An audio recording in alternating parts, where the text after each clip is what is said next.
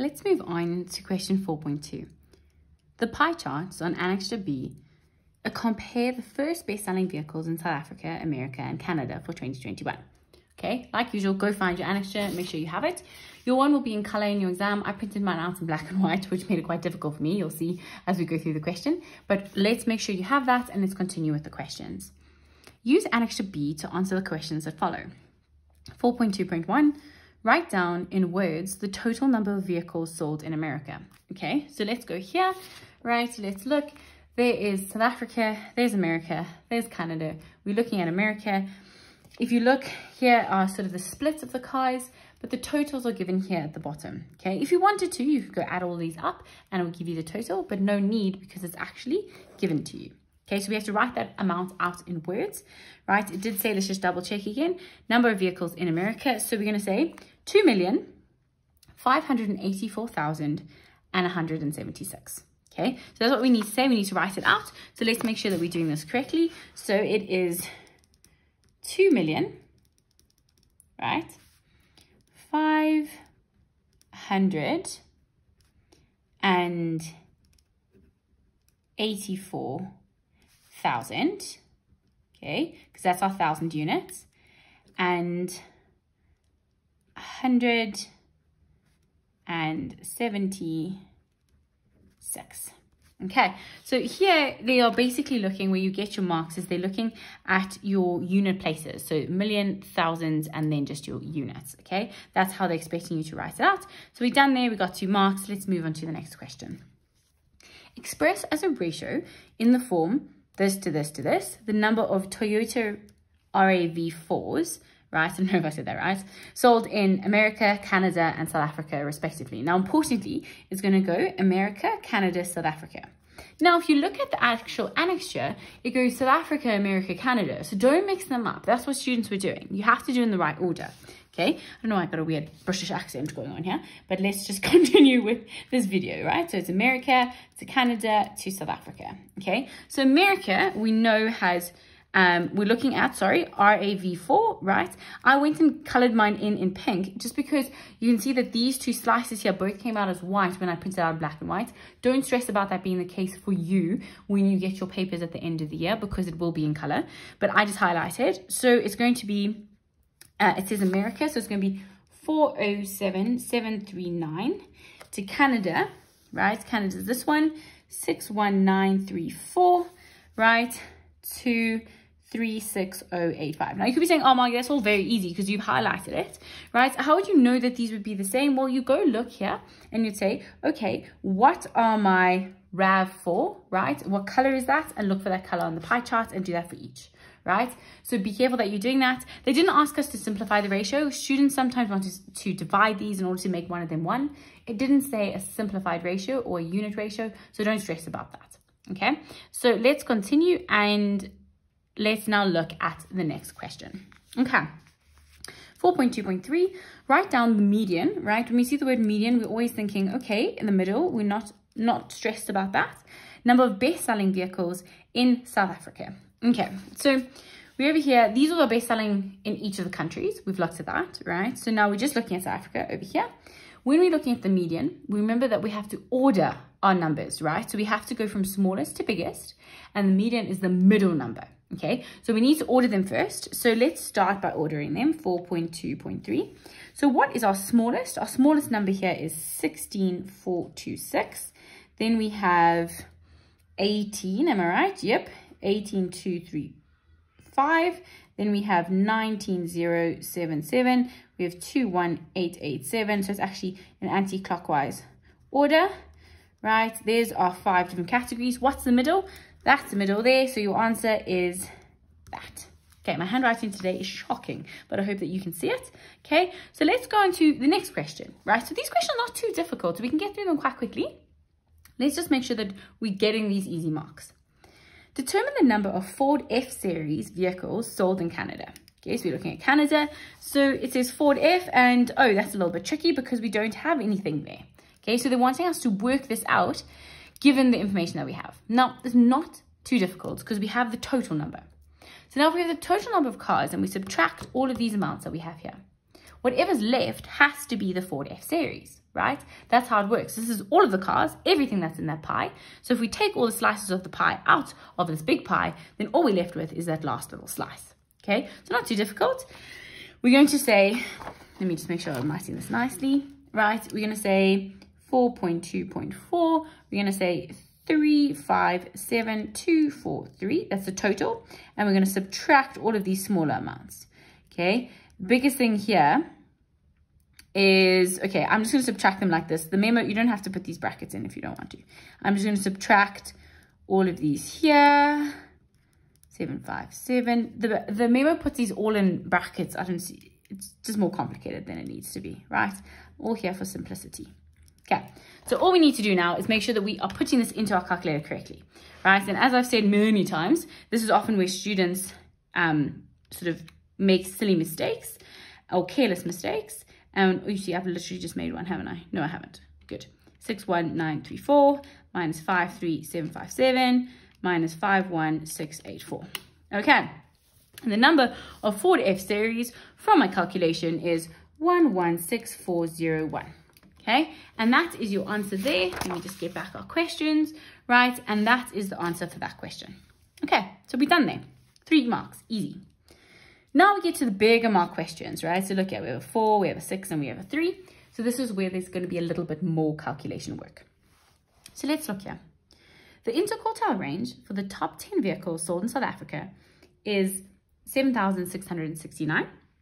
And the value of the quartile 1 is 11408 calculate the value of quartile three. Now students see this and they're like, ah, what's going on, right?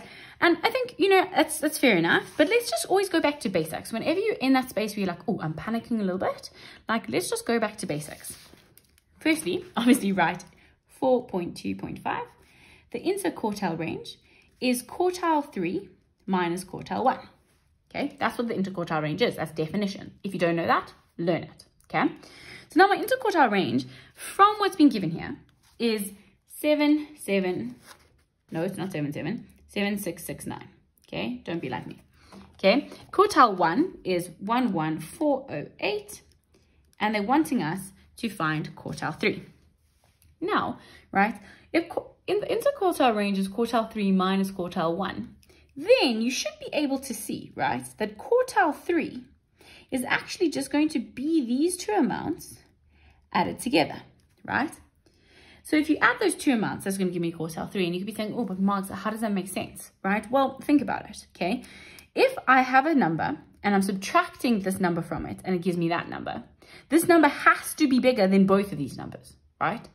So you should be thinking, okay, if I bring this number here over to this side, because I want to get quartile 3 by itself, remember from basic algebra, right, you could be saying, oh, I'm doing math lit because I don't want to do algebra, but this is just basic logic. If I bring it over, it has to become plus.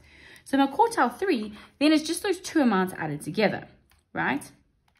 So add that together, and that is your answer. So it's 19077, okay? And that is your answer, and we are done, okay? So the biggest thing here is they're wanting you to go back to basics and also show that you can manipulate what's there, okay? Let's go on to the next question. Now, the next question says, the inflation rate in America for 2021 was 7%. Okay. And in 2020, it was 1.4%. That was our big COVID year. The price of the Ford F-Series vehicle in 2022 is 32, 32, 33, um, dollars, right? So that's how much it is in 2022. Then the question says, it is stated that the price of the Ford F-Series vehicle in 2020 was more than this amount, okay? Verify showing all calculations whether the statement is valid. Now, what's important here is that at the end of your answer, regardless of what calculations you do, you have to say, is it valid or is it not? You can't just do calculations and leave it at that. You have to make a statement saying yes or no, okay? So what we have to do is we have to go from this 32332 and we have to strip out the inflation for 2021 and 2020 to get us, right, this amount here, right? So we have to strip it out. Now you could be saying, oh goodness, how do I strip it out? Okay, well, similar to VAT. Remember when I say with VAT, when you want to add it, you times by 1,15. And And when you want to strip it out, you divide by 1.15 because the VAT rate is 15%. Here, it's obviously not the VAT rate, it's an inflation rate. So we're going to go and strip out the inflation for um, 2021 and 2020. Okay, so it's basically saying if we have these three years, okay, okay, to get me from there to there at a 1.4% inflation, and from there to there, I had a 7% inflation. But now I'm saying, oh, actually, please just strip it all out so that we can know how much it actually um, cost in 2020. Okay, so that's what we're doing. And if we're stripping it out, we're going to divide by these. Now, students often just want to divide by the percentage. No, you have to divide similarly to how you do with VAT. So here, you're going to divide by 1.07, right? Here, you're going to divide, divide by 1.014. Now, you could be saying, how on earth did you get that, Marks? Well, what I did is I added 100, right, to this. So for, for example, 7%, so I said 100 plus 7, and I got 107. And I said, okay, I want to make it a decimal because that's how I want to work. I divide it by 100, I make it a decimal, and there you are. I did exactly the same with 1.4%. Okay, so let's start by writing this out. So we're going to strip it out like this. We're going to say the cost of the car in 2022, and I'm going to divide out the inflation for 2021. 32332 over 1.07. So that is my answer. You can round it off here, okay? But I don't want you to round it off in your calculator yet, because remember, we only round off at the end.